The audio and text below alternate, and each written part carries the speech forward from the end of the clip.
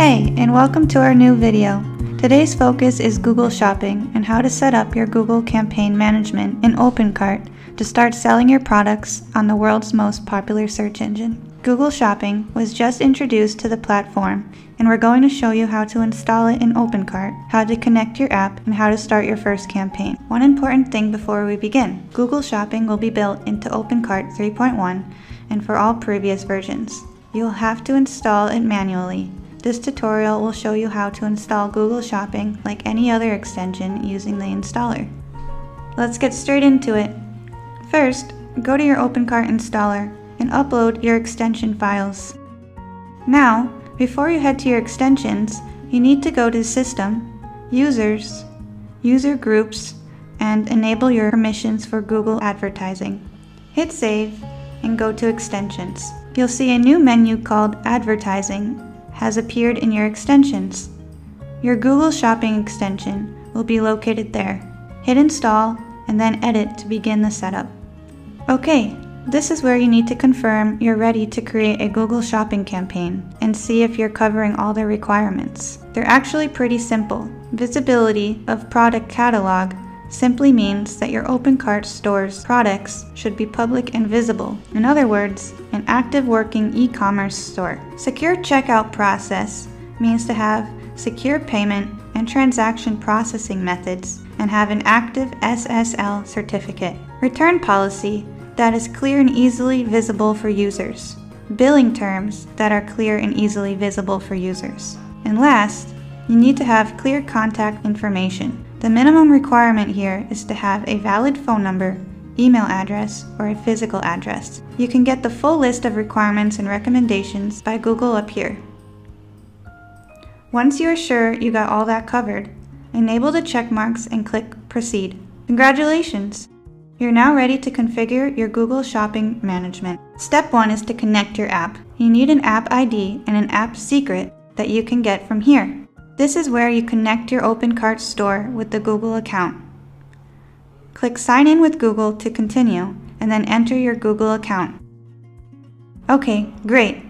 The three steps here are to set up your advertising payment profile.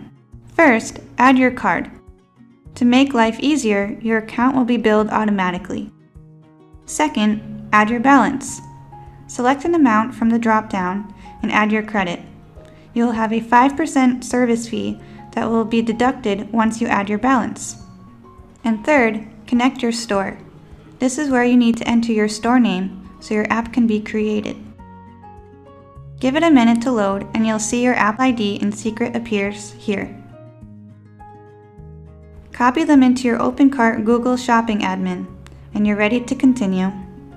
In the cron settings, you need to select the Setup Confirmation checkbox for the scheduled tasks of periodic syncing with your OpenCart catalog and automatic gathering of product data. Then, click Proceed.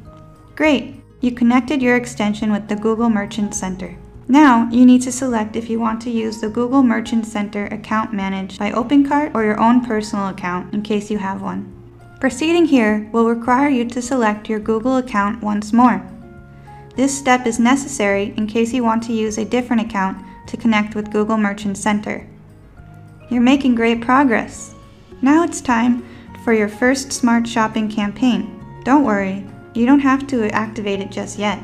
Click the New Campaign button and you'll get a pop-up with the campaign setup. To create a new ad campaign, you need a name, a target country, a budget, select the language, currency for the campaign, and to activate or pause its status. Click Proceed when you're ready and you'll be starting your first campaign. The next step is to configure your shipping and taxes. First, select the minimum and maximum transit time for your shipping methods. Next, the shipping service fee.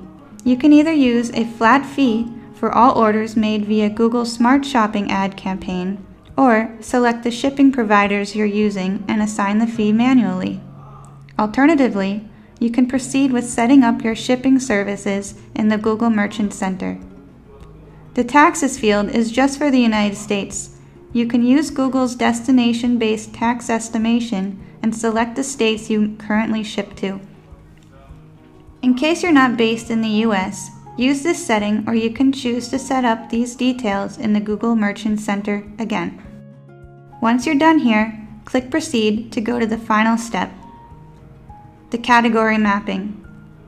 These are the main Google categories that you can use to assign your products.